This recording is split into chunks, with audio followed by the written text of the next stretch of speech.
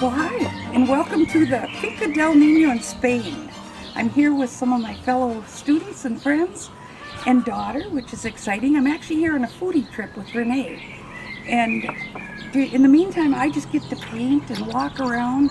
And as you can see, they have lovely, lovely gardens. So I thought it would be fun just to just to walk around and do some drawings with pen. I love working with a pen.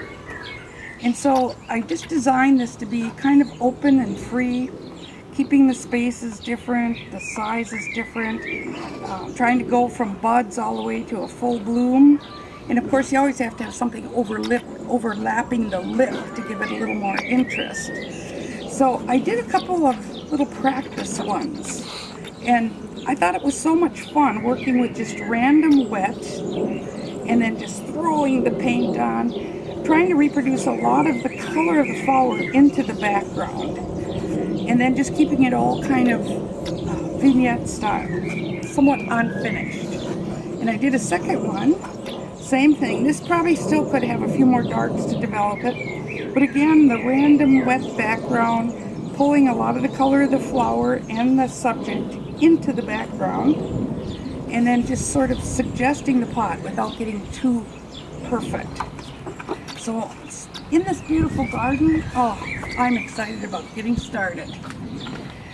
Well, I never can just make simple outlines. I love to draw where you start a shape, stop, and then continue it. And maybe do a few dots and little, sometimes I color it in just a little bit. Anything to make it kind of unique. And so that's what I've done here. Even in the center of some of these flowers, you can see where I came in and started to fill in with some darks. And in here where I want to create some darks, I literally just came in and created them with my pen. And I, it's not very often that I draw flowers with a pen, but it just seemed like the right thing to do with flowers everywhere. So there's this is no one place, but I did provide you with this drawing if you want to reproduce it and paint along with me. All you have to do is click on it and print it out. So to get started, we're going to put a little water in my fantastic little two-holer here. So we're going to, I picked out a few brushes that I'll need. I've got some salt and a pencil sharpener because I'm planning to add some colored pencils later. And I've also got a little sand, 100 grit sandpaper here. And I even, when nobody was looking, picked a couple of leaves. Where'd my other leaf go? There it is on the ground. I'll pick it up later. But I've got um, a couple of leaves. I'm going to show a little bit of stamping and color sanding. So we're going to start with a random wet. And when I do a random wet, sometimes I go around and then sometimes I just throw a little water. And I like to think of it almost like an abstract painting. Like I would like to have this go up off the top, throw a little more, and come down here, sometimes through the shapes sometimes into the negative parts. And again, throw a little bit. And down here, again, just random, sometimes off the page.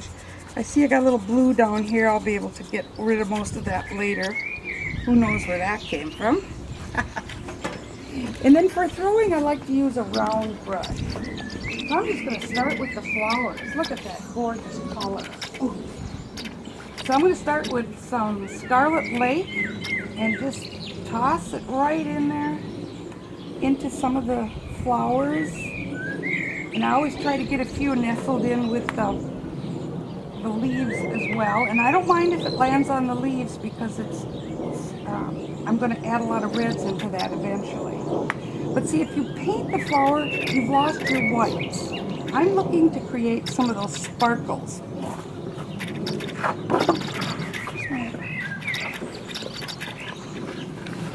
See, I'm, I'm looking to create some of these little white shapes.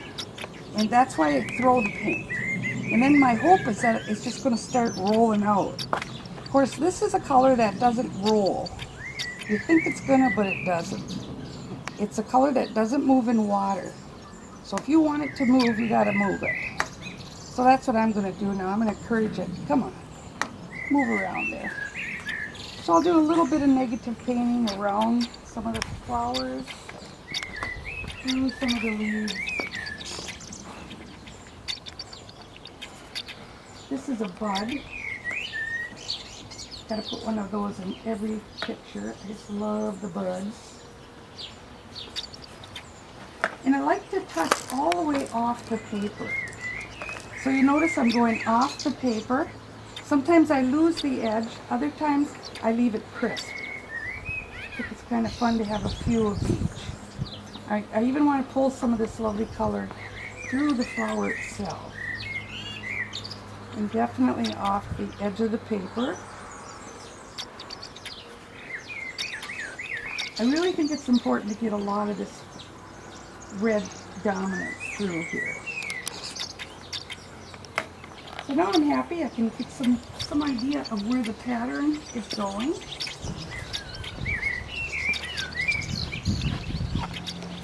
Now I'm going to come in with my quinacridone burnt orange. This is a beautiful earth color.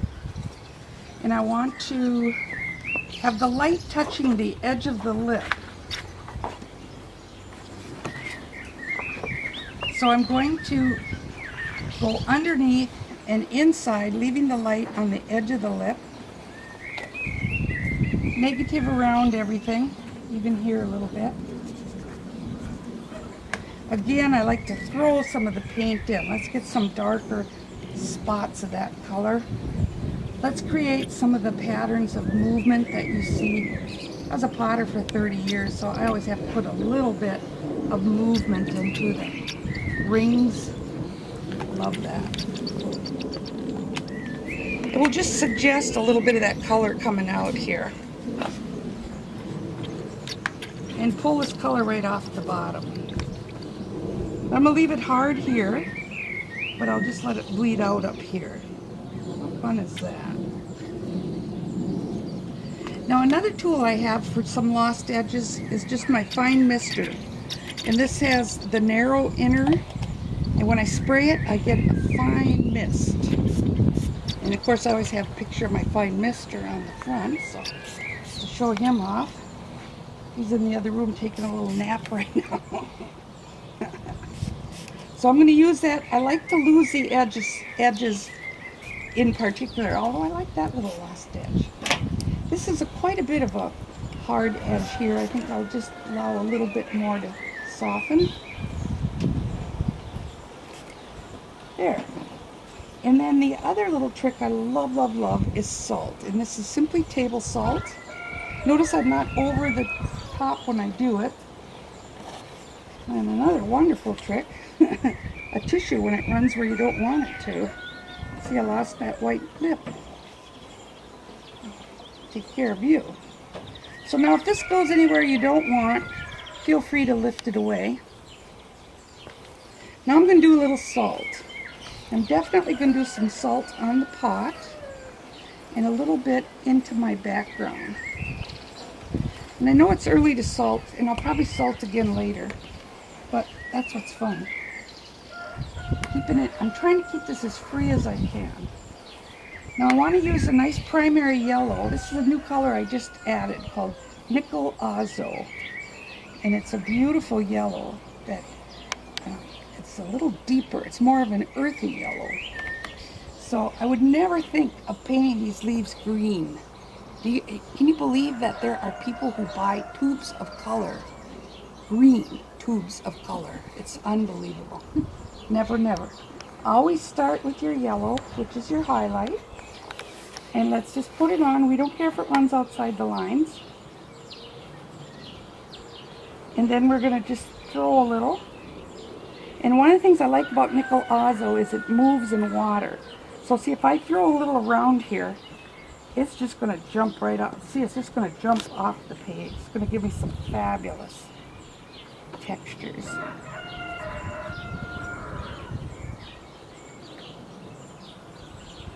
Now the next color I want to use is Quin Gold. Quin Gold gives you darker greens. So if I come in with some Quin Gold, especially in the ones that are underneath the ones on top, so that the leaves behind the leaves can be in Quin Gold. It's a lovely color. It's going to create some depth. It's going to jump back. So anything behind, I'm going to do a little quin gold. Or sticking out into a light area, that would be a nice contrast. Now I'm going to come in with my Antwerp. And Antwerp blue is a color that moves in water. So when I take Antwerp and put it down, I know that Antwerp is going to move. So I can just come around, rest assured it's going to move. And everything's wet pretty much by now. And Antwerp also gives some beautiful darks. I'm not ready for the darks yet, but I'm pushing it back and forth, light, dark.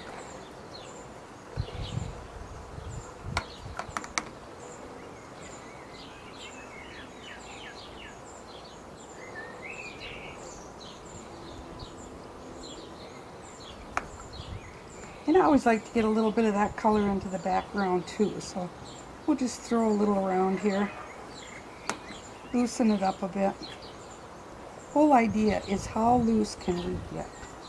Now another color that moves in water, and it's a very dark red. It's called the alizarin crimson. So I don't trust it, so I'm going to get out a tissue if I can find one. Oh dear. Tissue because it's easy. There. Okay, so now with the alizarin crimson, again, I'm going to tuck this into some of the deepest, darkest crevices to create some of the very dark reds. My brush is really loaded. I might come back just a bit. So anytime I can find a place behind another flower, I'm going to put a little bit of this beautiful alizarin on it. I do want some reds on my leaves.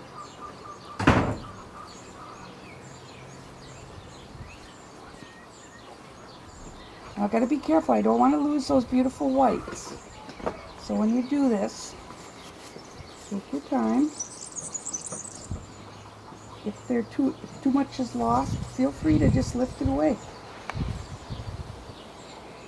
dries the paper and gives you more control.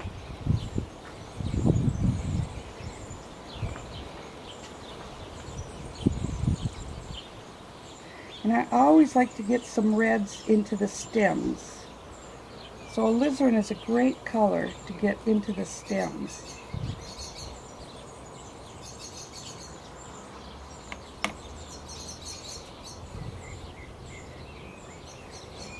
Now back to my really bright, this is the brightest color on my palette, Scarlet Lake.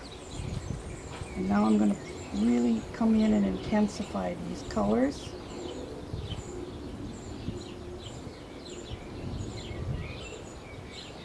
And look at that. Oh, look at that. It's perfect.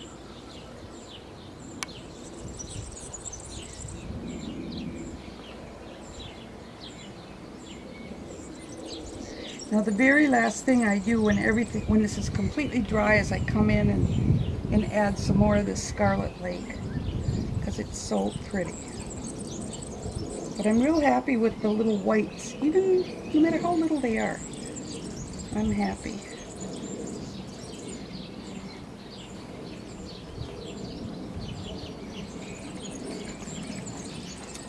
Now another combination that makes a beautiful dark is quinacridone burnt orange and Antwerp blue mixed together. So it makes a beautiful dark, dark green. Look at that. That's the green I used to paint evergreens. See, if I was home and painting evergreens with snow, that's the color I'd be choosing. But ha ha, look at where I am. So I'm going to grab, they'll never know, I'm going to grab one more leaf off the tree here coming off the bush, the plant. Look at, see, perfect. Oh. So what I want to do now is I want to get some of these beautiful darks in here, the little negative darks, and some of the darks that are, well, I'm painting this mostly positive. I want to get some more darks in here. even some darks within the flower. So a little bit on the stems, a few darks here and there where I see them.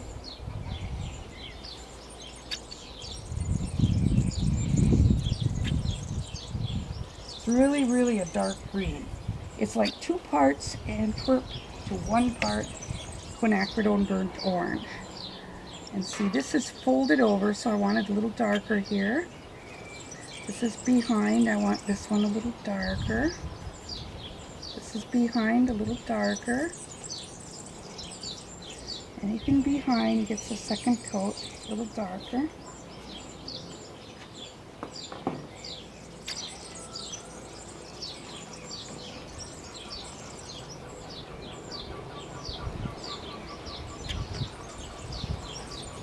This is sticking out in a light area. That would be nice darker.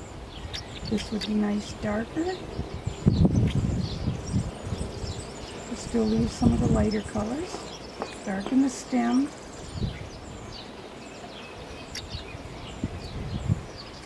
Now one of the things that's really fun is to take an actual leaf and using a flat brush what you can do is take this really beautiful dark, this Antwerp and Quin Burnt Orange, and if I lay this flat, I can just come in here and you can see how it's just picking up the stems. I usually do this on dry paper, but we'll do it on the wet and see what happens. You don't want to do this for every every week, but it's really fun for just a couple. And I'm going to put some yellow on it too.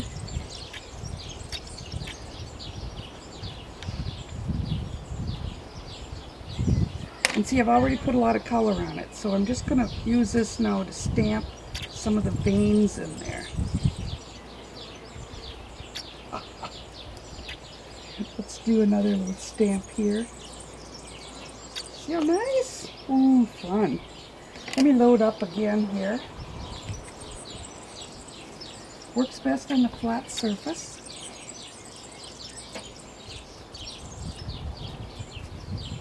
And I'm just picking up the veins. I'm on the back of the leaf. And this is going to be perfect right here. So it's just literally a stamp.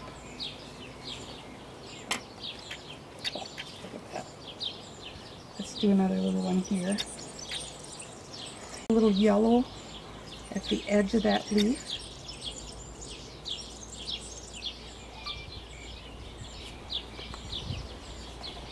So we've got the veins indicated.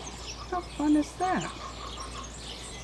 Just kind of ran in there. I'm going to lift it out because I want this lighter. Anything folding over is catching the light.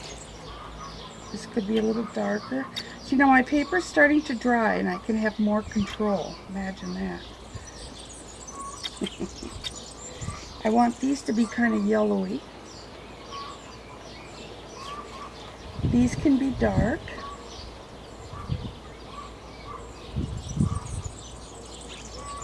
There are these, these guys right here. You can see they're yellow-green with a little hint of red coming out.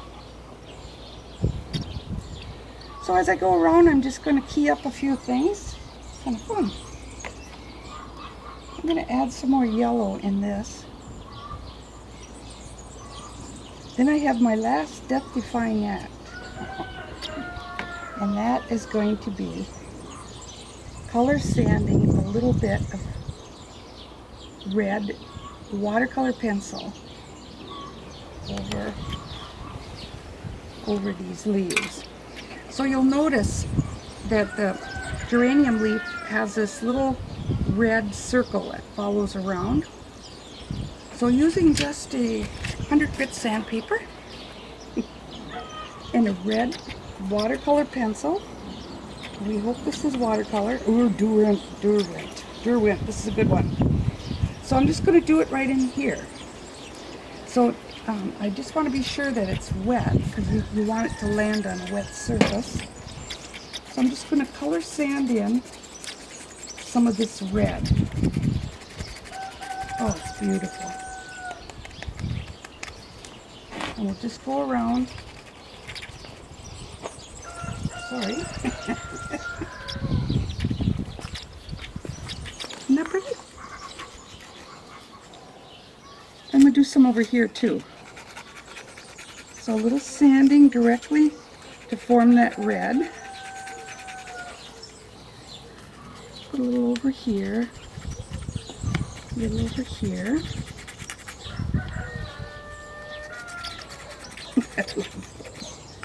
Roosters. Now one thing that needs a little attention right now, I've been ignoring it, is this pot. So I'm going to come in with some more Quin Burnt Orange. Clean my brush. And I'm just going to come in and make, make it darker in the shadow areas, lighter where the sun would be touching it.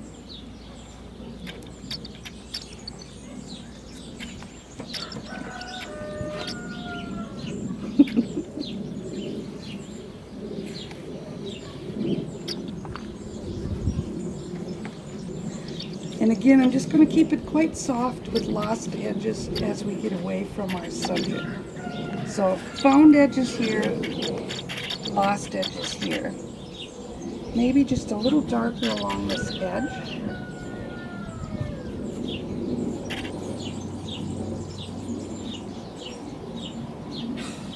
I've got a whole leaf here I haven't even painted. I could just do that. Add some more reds and I think we're really close to done. The one thing I really insist though is that you bring a lot of that red into your leaves and that little color sanding helps. And then later you can come in and glaze over the top. So for example on a piece like this, you I can just take some of this red and simply glaze right over the dry top and just soften it and do a nice little lost thin glaze like that.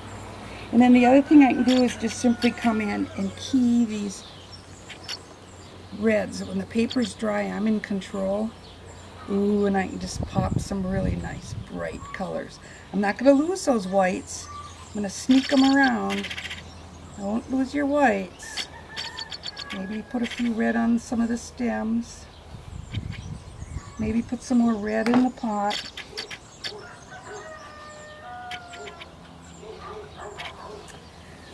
So there you go. A final check, some of my edges. I see I managed to smudge up a few here. Maybe I could lift a few right now. Otherwise I can clean those up later. got, got them all over. Whenever you color sand, you want to do a little bit of color over the top. So, there you go.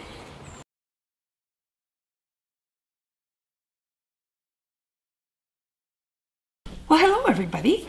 I'm really excited today to show you a lesson I've been thinking about and attempting over the years without success, but now I think I've got it figured out. So I'm going to share with you a lesson I call spontaneous flowers.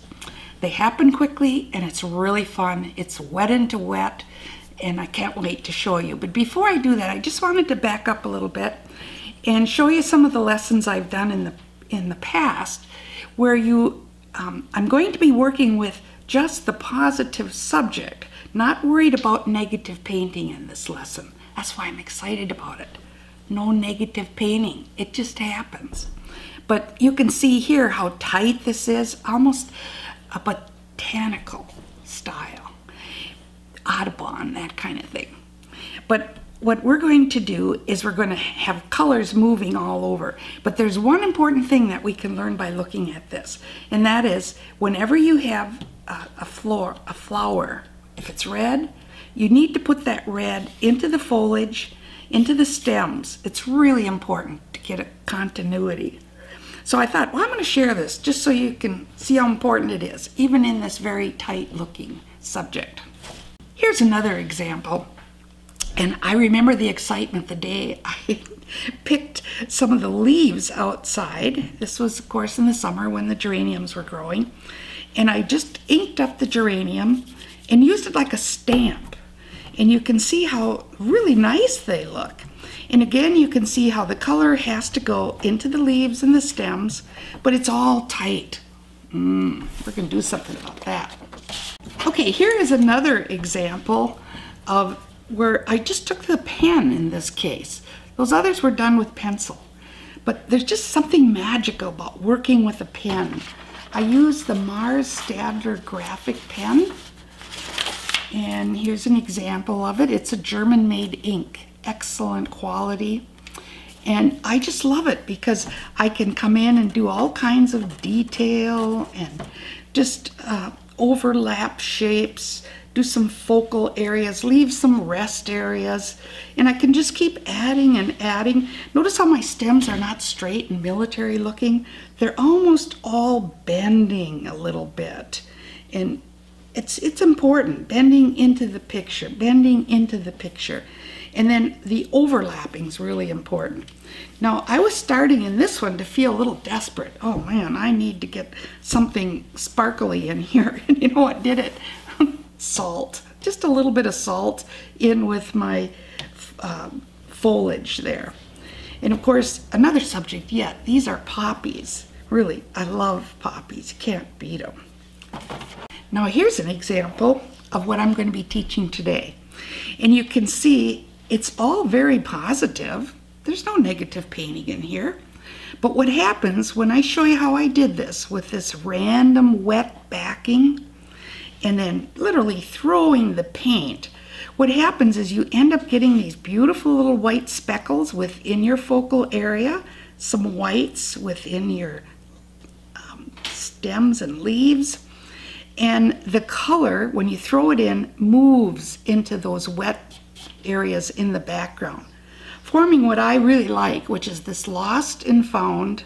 Some of the edges are hard, some of the edges are lost, and I just love this look. It looks very free, very spontaneous, and, and that's exactly what it is. This was so much fun to paint, I can't tell you.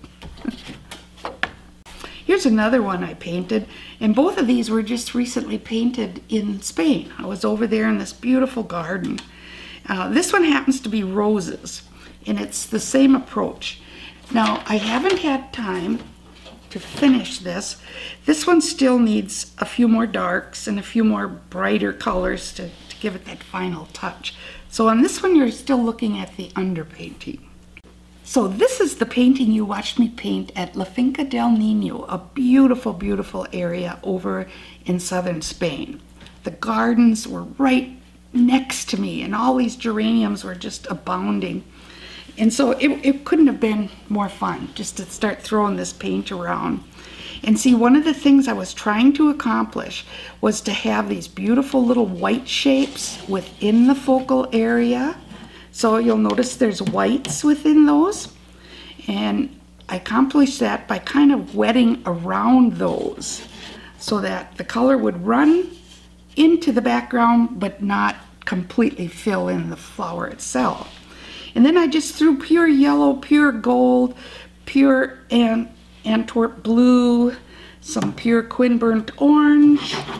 And now all it needs is a few touches to bring it back to some crisp edges, some darker darks, and some brighter light colors.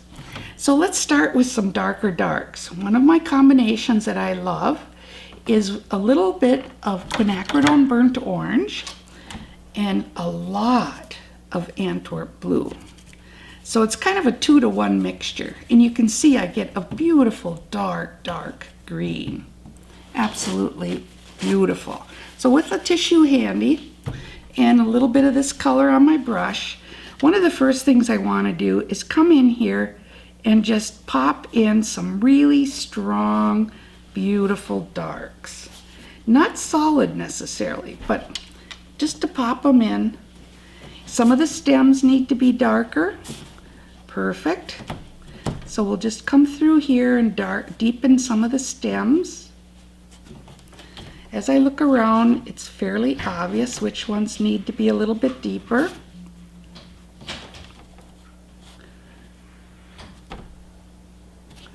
Ooh, I like it better already. Now, if it looks like too much, that's what the tissue's for. Just come in and give it a little dab. Ooh, I like it better already. Now another area, this is all kind of similar. I like what's happening, but at the same time, I would love to identify the edge here as a darker color, and especially here where the leaf is turning. If we come in here and show this darker underneath, maybe a few lines leading into the center here, and maybe a little darker here. And then of course I just wet my brush, take off a little bit of that extra, and just soften some of these areas. So they just kind of melt into the rest of the picture. Oh, that felt good. Now, anytime I have a leaf behind a leaf, this is saying it needs to be darker. So here's another beautiful area that we can pop out a little bit more dark, but not lose it all. I love, see, I love that corner. I don't want it to be lost. And I think we're gonna move in a little closer here so you can see a little better some of the changes that I'm making. So you can see here where I went a little darker. Here I just made it a little darker. Now here's another petal behind a petal. So again, let's come in here and pop that one a little darker. Maybe put in a few interesting little shapes. Let's wash out the brush, take off the extra moisture, and then just soften. So I love to have edges that are in control and edges that are softened. See already we're starting to get some nice back and forth. Over here too we can look to make a few darker shapes to pop out. Over here maybe a little darker. Uh, over here, definitely. Let's pull that a little bit darker. Now another combination I like to use is Quin Gold combined with Antwerp. And see, that gives us more of this olivey look. Isn't that pretty? So this would be for very dark. This would be more for a mid-tone. So now looking again, let's come in here with this kind of olivey mid-tone. Add a few more darks leading into the flower itself. Oops, I was off there for a minute. There. So a few of these little darker stems coming down.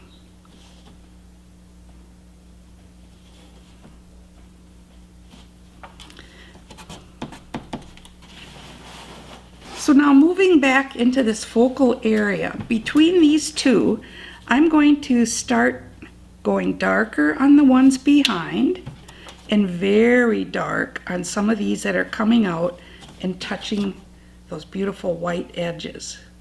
And of course, in most cases, the stems are going to have to go just a little bit darker.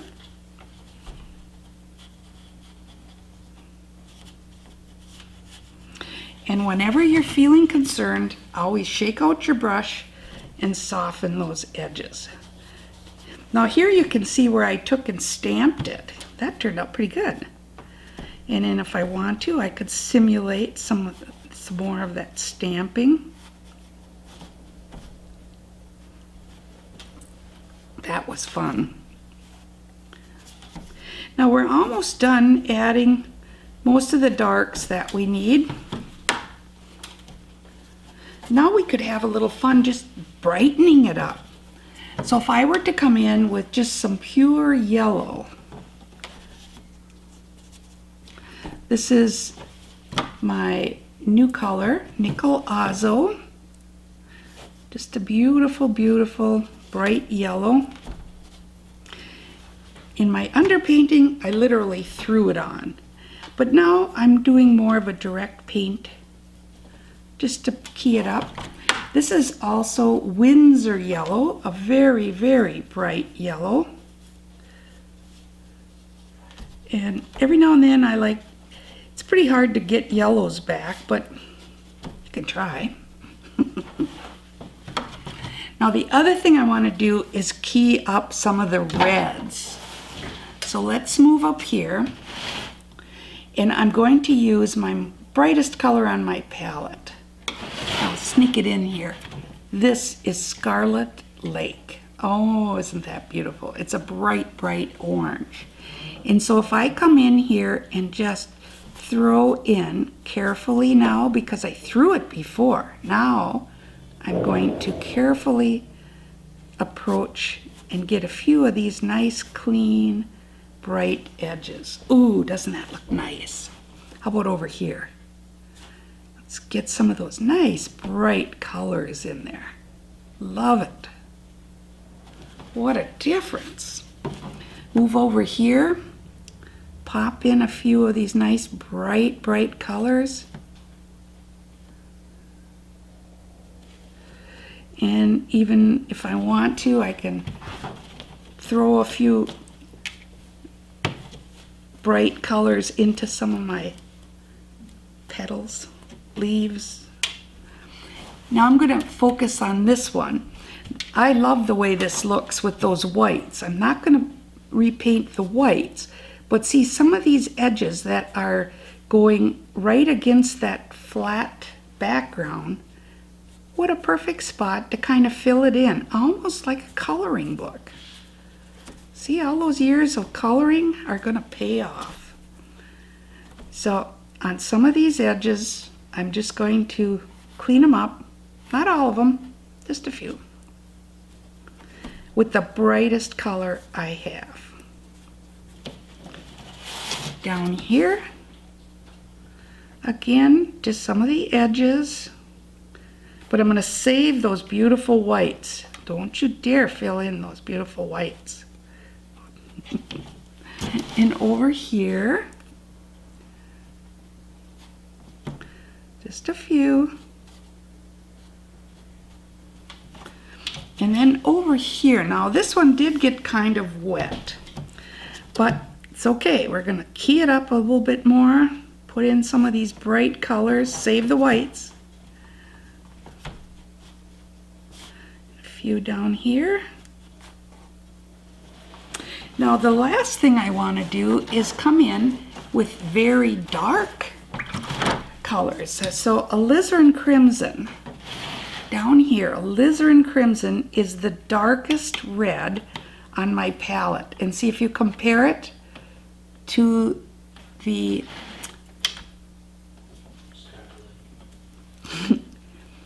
if you compare it to Scarlet Lake, you can see the values. And so you have to buy a lot of reds. You can't make a red darker or lighter. In transparent watercolor, you have to have a variety. So Scarlet Lake is my brightest and alizarin crimson is my darkest. So now I'm going to come in and I'm just going to add a few extra darks. Where are they going to go? That's pretty easy. They're going to go into the centers. If there's a color behind, a petal behind, it goes behind. So we're just going to do it. You can soften them with your finger, touch them with your brush, a damp brush. But I'm basically pulling these into the deepest crevices. Here you can see we need to have just a few deep, deep, deep colors going into the crevices here. In that little bit, it's amazing how that little bit just seems to pull it together. Don't lose those whites now. You'll notice I'm just dancing around them. Don't want to change that. But whenever I have behind I go with that. So a little bit more alizarin crimson and we should be pretty close to done. if you didn't get enough red on some of your stems, you can go over it with any of these reds. It really, it just makes such a difference. Over here we need a few more really strong darks. Definitely on this one. In fact, I think what I'll do is make these outer edges here all darker. Seeing as I didn't, by accident, I didn't save any white, so we're just going to make them darker. That makes sense to me. But we're going to save the whites we do have. Okay, oh my gosh, we're almost there. So now I'm going to pull it out again so you can see the whole thing. I'm now to make a final decision. And what I need to do is to make this pot just a little bit brighter. I used quinacridone burnt orange.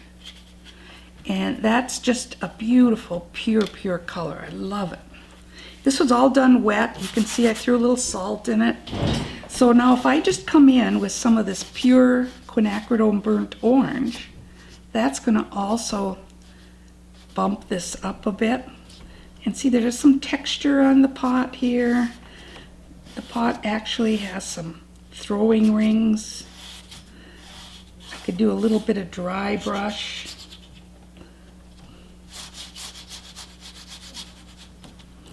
And I was thinking if I just came in a little bit darker from this side, that would be nice. Nice little finish.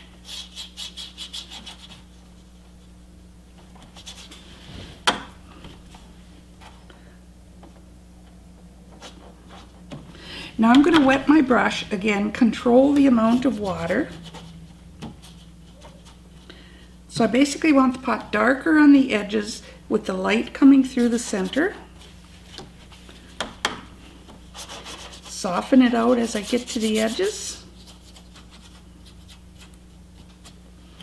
And then I think I need to go just a little bit darker, just a little bit darker within the dirt here. So if I take my Quin Burnt Orange, just put a little bit of French Ultramarine Blue in it, that'll make it darker to a dark brown. And I'm just gonna come in and darken some of the dirt here.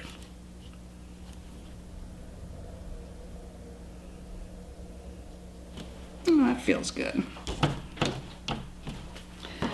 When in doubt, just dab it with your tissue. Maybe a little bit of this dark color could be added here under the rim, just to emphasize that a bit. Maybe some of these textures here could have a little additional dark added, little throwing ring here and there. Maybe a little darker over here coming in.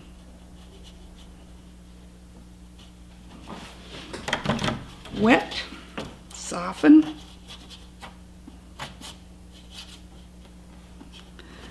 And we are done. Well, here we have the finished painting. And I put just a working mat on it to show it off a little bit. I'm actually very pleased with the, the whole overall loose, spontaneous, free-spirited look I was looking for. And it's really kind of fun when you frame these up to look into maybe a toned mat. There's so many ways you could present it.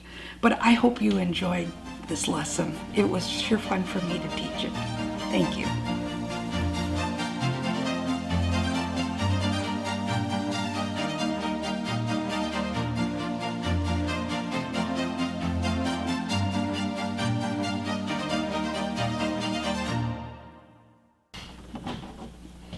So you're gonna, you're, oh, this is on, okay.